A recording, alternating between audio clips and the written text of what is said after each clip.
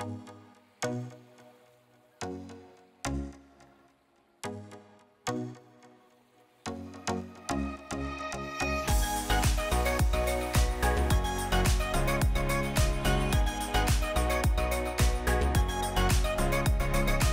name is Melissa Thompson and I'm on the MA Prosthetic Effects program.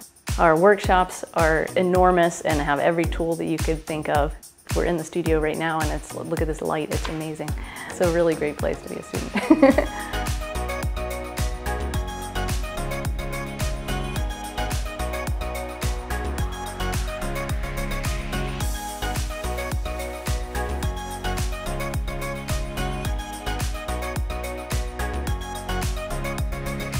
My name is Bethan Crawley and before I did the Masters I did an undergraduate degree in artistic makeup and special effects. The technicians were great because they were around a lot of the time just in case you were stuck on something and needed a helping hand. One of my favourite moments on the course was when Brad and Neill did the penguin makeup demo. It was really interesting to sit and watch them do it and to be able to understand the process.